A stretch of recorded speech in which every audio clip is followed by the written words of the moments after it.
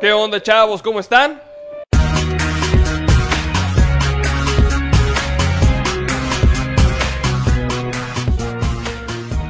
Ya les di bastante tiempo para que fueran a ver la película, así que en este video va a haber spoilers.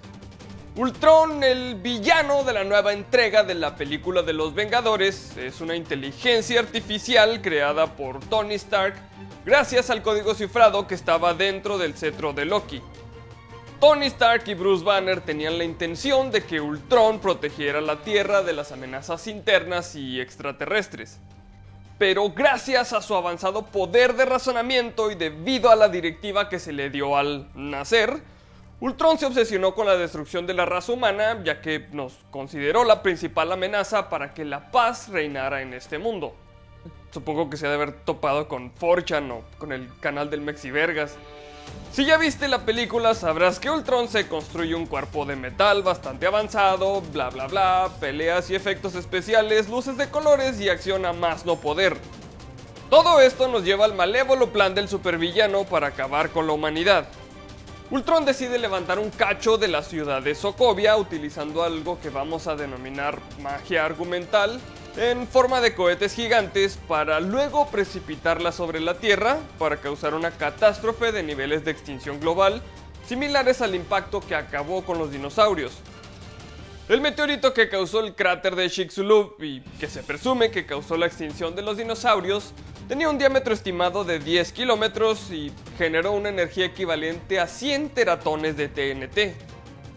En contraste, el explosivo más poderoso fabricado por los humanos jamás detonado, la SAR bomba, tiene un rendimiento estimado de solo 50 megatones de TNT, lo cual hace el impacto de Chicxulub 2 millones de veces más poderoso que la SAR bomba.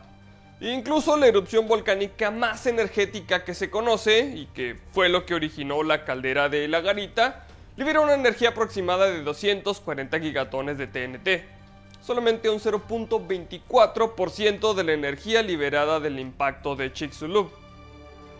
Esto es bastante impresionante, pero veamos si el plan de Ultron puede competir con esta catástrofe de proporciones astronómicas. Primero tendremos que estimar el tamaño del meteorito que Ultron fabricó con un cacho de Sokovia. En base a las escenas de la película podemos estimar que el diámetro del pedazo de ciudad es de 3.5 kilómetros, así que usaremos el radio de 1.75 kilómetros para los cálculos. Asumiendo que el cacho de la Tierra es un cono de radio R, que ya calculamos previamente, y asumiendo también que el ángulo sea de 45 grados, tenemos una altura de 1.75 kilómetros. Teniendo en cuenta la fórmula del volumen de un cono y sustituyendo los valores de la fórmula, tenemos como resultado que el volumen de nuestro flamante meteorito es de 5.6 kilómetros cúbicos.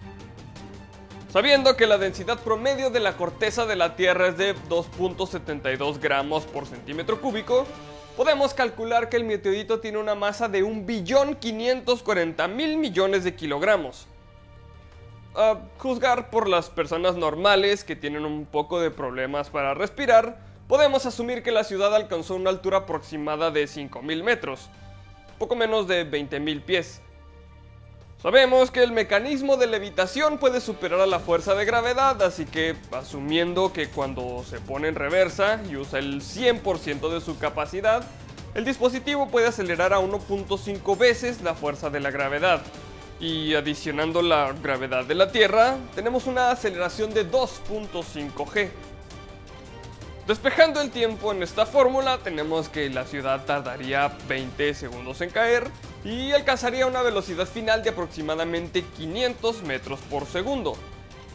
Sustituyendo los valores en la fórmula de la energía cinética, tenemos que la energía liberada por el impacto de Sokovia es de 192.500 billones de joules.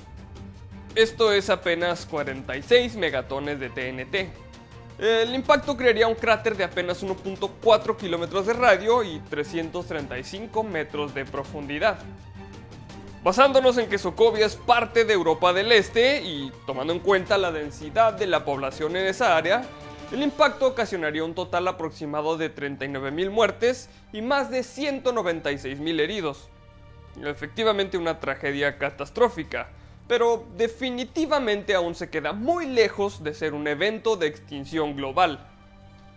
Para lograr que el cacho de ciudad tuviera la potencia destructora del meteorito de Chicxulub, Ultron habría tenido que acelerar la ciudad hasta que alcanzara una velocidad final de aproximadamente 2.880.000 km por hora, que con la potencia de su mecanismo de elevación le hubiera tomado alrededor de 9 horas en caída libre, tiempo más que suficiente para idear un plan de contingencia, rescatar a todos los civiles atrapados y de paso comer un poco de chaguarmas.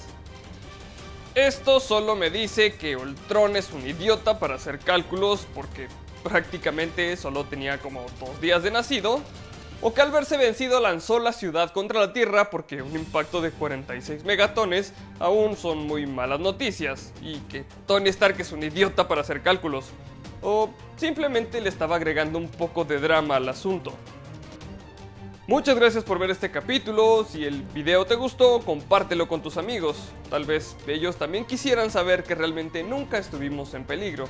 Y si aún no estás suscrito a este canal, este es el mejor momento para hacerlo. Solamente me queda recordarles que mi nombre es Arnoldo Montaño y como siempre, nos veremos en el futuro.